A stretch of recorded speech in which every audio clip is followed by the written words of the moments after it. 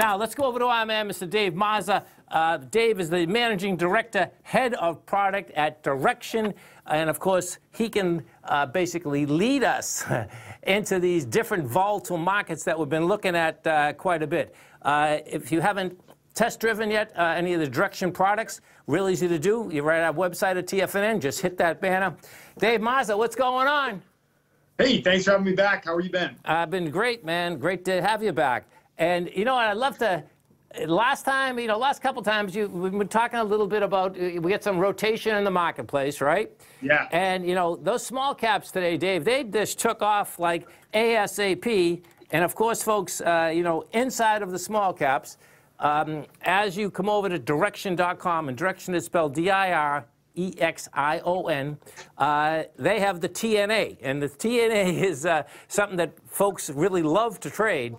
Uh, we get some little, we get some action here, Dave.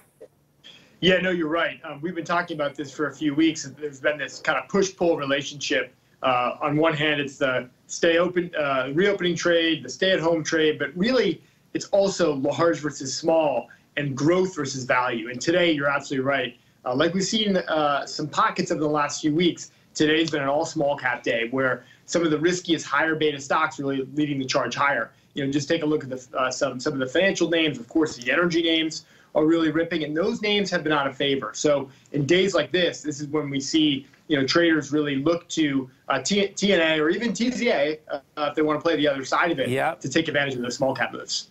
You, you know, you know what's amazing is that I remember the first time I think it was let's see, it probably maybe it was six weeks ago that you, you had brought it up that we felt like there was some rotation that was taking place and it's really wild because at the beginning of a rotation, it's like, okay, is it, uh, it not taking place?